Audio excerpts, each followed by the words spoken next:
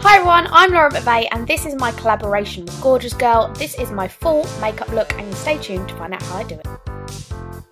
So first of all, I'm going in with this, which is a BB, um, well it's called BB Flawless, but it's basically a BB cream that's slightly thicker than an average BB cream, I guess. More foundationy, um, but it's really, really good for my skin, and especially because obviously at the moment the weather's changing, my skin is kind of broken out. So this is a lot better for my skin and doesn't um, clog it up as much, I suppose. So I've applied that, I've then put it, pushed it into my skin with a beauty blender, and then I'm just applying some powder. I'll link all the colours and products that I use below. Now I've done that, I'm going in with a concealer. This is colour um, Organza. It's for skin with pink undertones, so if you've got spots or redness, this is the concealer that you want because um, it's really good for coverage. So I'm just going to apply that to my eyelids. I'm finding this really useful for base of um, uh, eyeshadow at the moment. So I've done that and then I'm just sort of pushing it into my eye with a blending bud. I'm now going in with palette 1. I use the colour Forthright and I'm applying that to my brows using a angled shadow brush. an angled, an angled, yeah, yeah, I don't know, it's angled.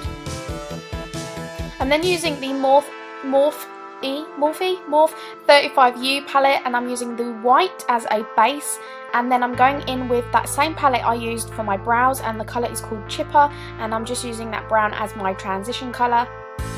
I've put on the white as a base for my eyelid because I'm going in with the orange from the Morphe 35U palette and I just think it makes the colour stand out and look good. I'm applying this colour with my finger because I want it to be really bright and vibrant and I find that sometimes it just goes on a lot lot better. Plus I've got no nails on so I can.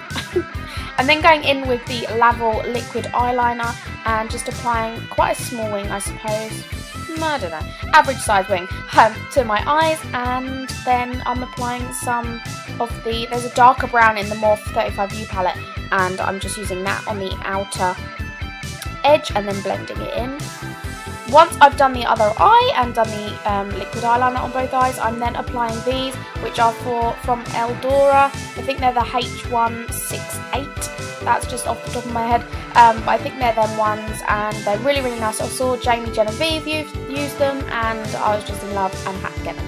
So after I've applied them lashes, I'm then applying um, just some 3D Plus mascara to my lashes, and I find this one really good because it's really fine um, and coats the lashes really really well and doesn't go clumpy at all.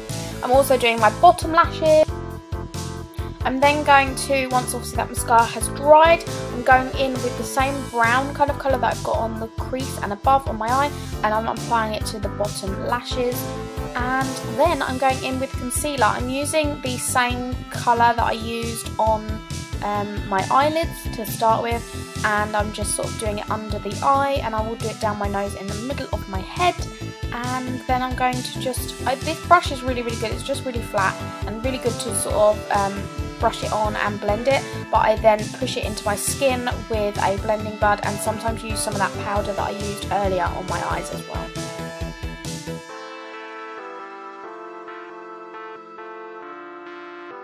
So from the um, Morph Morphe palette uh, 35U, there is a white and I'm applying that with a bit of um, I think it's elegant. It's a little pigment pot. It's really, really good for highlight. I use it in a minute on my highlight and I've just applied that to the centre of uh, the inner corner of my eye.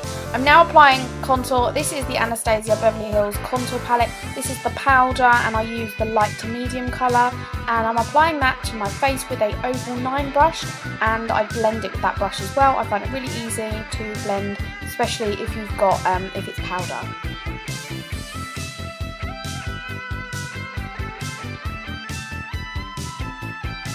I'm now moving on to highlight. This is what I just mentioned that I used in the centre, in the inner corner of my eye. This is a little pot called Elegant, I think it is. I will have a little look, or it might be Curious actually. It could be called Curious. There's a couple. But this is just super nice because it's not just white. It's almost got sort of glint, glints of sort of almost baby pink and a goldy colour. It's just really, really nice. Super smooth to use as well um, because they are minerals.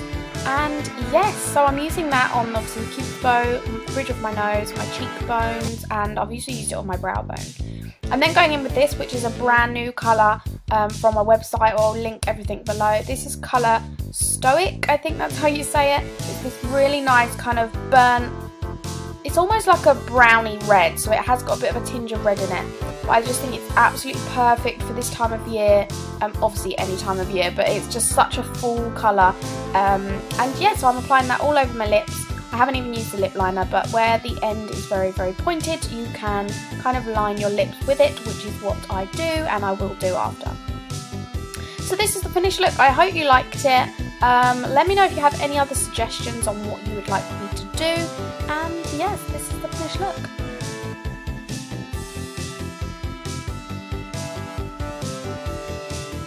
If you like this look, give me a thumbs up, comment below